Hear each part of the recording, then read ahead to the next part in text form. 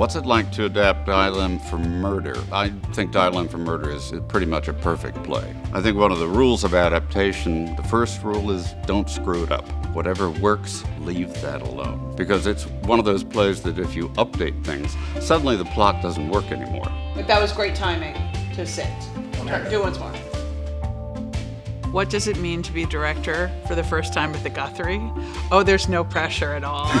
it's obviously a great honor, and I feel so happy that I get to do it with my longtime friend and collaborator, Jeffrey Hatcher. It's almost kismet that it's turned out to be this play that is my Guthrie debut with Jeffrey.